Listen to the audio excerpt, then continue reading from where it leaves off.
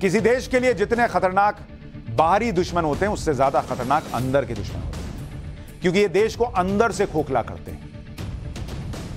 यही रूस यूक्रेन युद्ध में यूक्रेन के साथ हो रहा है। यूक्रेन की बर्बादी में कैसे वहाँ के नेता आबाद हो रहे हैं, अब इसका चक्कर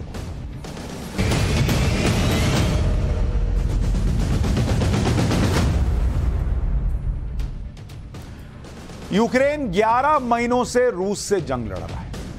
11 महीनों के दौरान यूक्रेन में जो हालात हुए हैं, वो बेहद भयानक है, जिसकी कल्पना भी हम आप नहीं कर सकते। लेकिन जंग के दौर में भी वहाँ के कुछ नेताओं ने लालच को अपने देश से बड़ा कर रखा है। यूक्रेन सरकार के मंत्रियों और टॉप ऑफिसर्स पर भ्रष्टाचार के आरोप लग रहे हैं। यकीन कर सकते हैं आप? जहाँ जेलेंस्की हीरो बना घूम रहा है। फ़ोटो छपवा रहा टाइम मैगजीन में कि मैं जो है वो अपने देश के लोगों के लिए लड़ रहा हूँ। वहाँ उनके ऑफिसर्स और नेताओं पर भ्रष्टाचार के आरोप लग रहे हैं। मतलब इसको कहते हैं, असल मायने में आपदा में अवसर तलाश लेना यहाँ लोग मर रहे हैं और इसमें ये लोग भ्रष्टाचार कर रहे हैं। जिसके बाद यूक्रेन के राष्ट्रपति जेलेंस्की ने कुल नौ लोगों को बर्खास्त कर दिया। पहले मैं आपको बताता हूँ कि वहाँ युद्ध के बीच नेता और अधिकारी कैसे कमाई करने में जुटे हुए हैं। सैनिकों के खाने के सामान का कॉन्ट्रैक्ट इसमें गड़बड़ चल रही है। तीन गुना कीमत पर इसका सौदा हो रहा है। यूक्रेन में जो अंडा, सत्रह रिबनिया यानी यूक्रेनियन मुद्रा जो है, उसमें सत्रह रिबनिया का मिलेगा। उसे सैंतीस रिबनिया में खरीदा जा रहा है। इलेक्ट्रिक जनरेटर खरीदने के लिए रिश्वत ली गई यह आरोप। रिश्वत के तौर पर वहाँ के मंत्री और अधिकारी विदेश के दौरे पर जा रहे थे। यानी यूक्रेन बर्बाद हो रहा है और मंत्री और अधिकारी पैसा बनाकर स्पेन और फ्रांस घूम रहे मंत्रियों और अधिकारियों के भ्रष्टाचार के मामले सामने आने पर जेलेंस्की घिर गए और उन्हें अपनी सरकार के चार डिप्टी मंत्रियों और पाँच टॉप अधिकारियों को बर्खास्त करना पड़ा। साल 2019 में जेलेंस्की ने जब यूक्रेन में सत्ता हासिल की थी तो उन्होंने करप्शन को ही मुद्दा बनाया।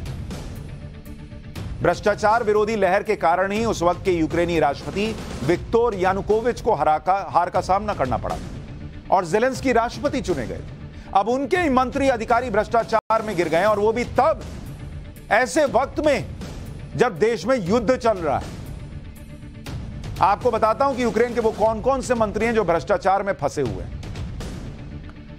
यूक्रेन का डिप्टी डिफेंस मिनिस्टर मतलब रक्षा मंत्री का जो डिप्टी है वो खुद फंसा हुआ है।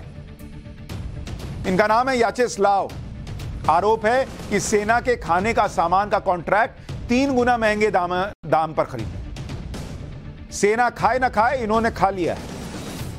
यूक्रेन के deputy infrastructure minister Vasyl Lozinsky, इन पर आरोप है कि इलेक्ट्रिक जनरेटर खरीदने में चार लाख डॉलर की रिश्वत।